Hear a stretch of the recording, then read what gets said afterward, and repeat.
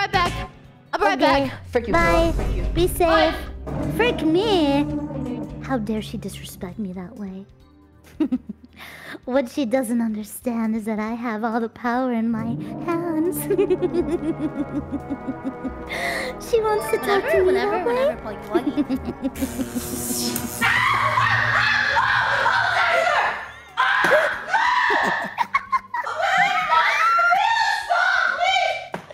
Take it off!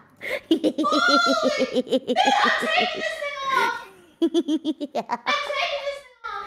Take it off! You're a wuss!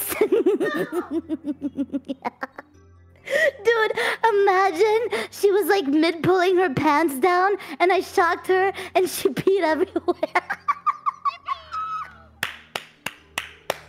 I don't know where you live, but I will find you, I will give you a strong and firm handshake. Can you come over and we can have a sleepover and we can watch a movie? I will go skydiving with you, and there's only gonna be one parachute.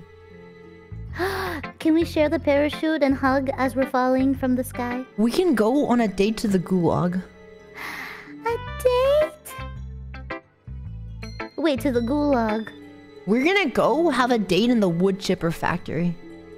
I played Warzone, and in the gulag, you have to fight each other to the death with your fists. Is that what you want to do?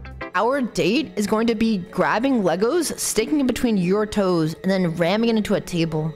Ah. I don't know what kind of sick fetish that is, but that's. I'm going that's- to do a date where you sell drugs next to a police officer. Can you can, Are you getting tased in real time?